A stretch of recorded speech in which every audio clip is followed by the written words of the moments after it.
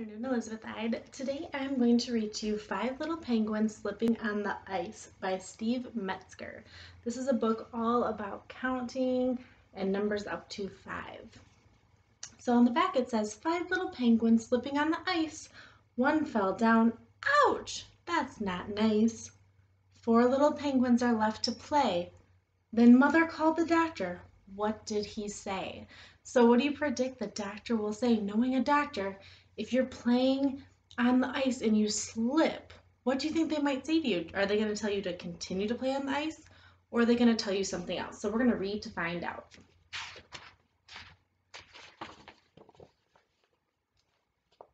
Five little penguins slipping on the ice.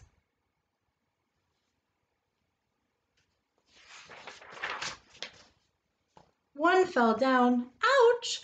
That's not nice.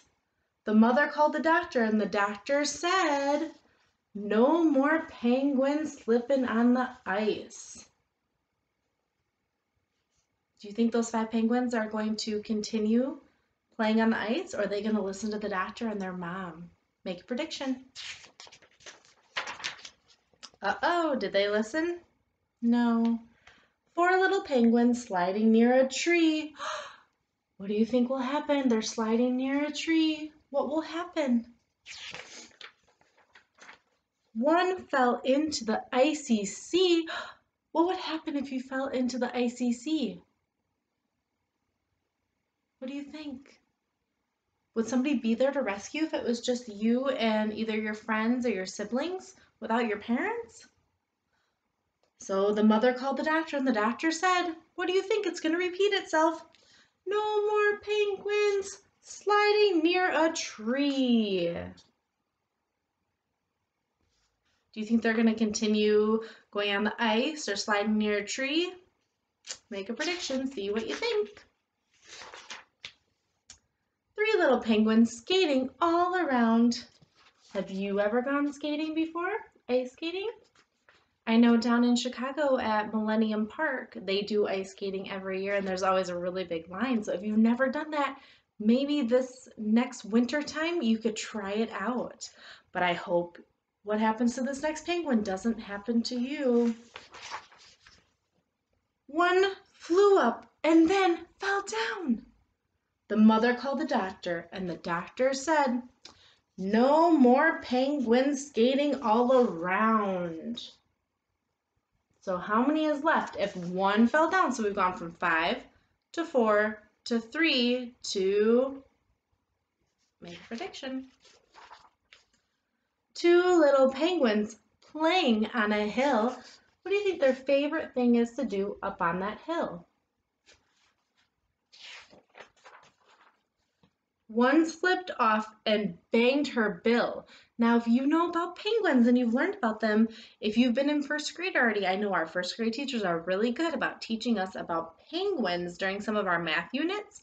Think about what is the bill, and I'm going to show you up close. What is that little penguin holding on to? Her bill. That's kind of like what would be similar to her nose and her mouth. The mother called the doctor, and the doctor said, No more penguins playing on a hill.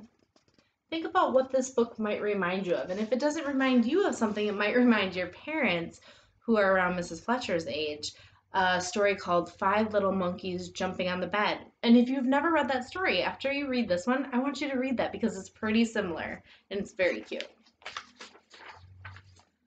One little penguin jumping very high. Did he touch the sky or did he fall down? Make a prediction. Broke the ice and began to cry. The mother called the doctor and the doctor said, no more penguins jumping very high. So now that mother has had gone from five penguins to four to three to two to one what comes after that? There's no penguins anymore to be playing. I wonder what they're going to be doing. Make a prediction. What do you think they're going to be doing? Are they going to be playing? Let's find out. Now there's no little penguins having any fun. No little penguins, not even one.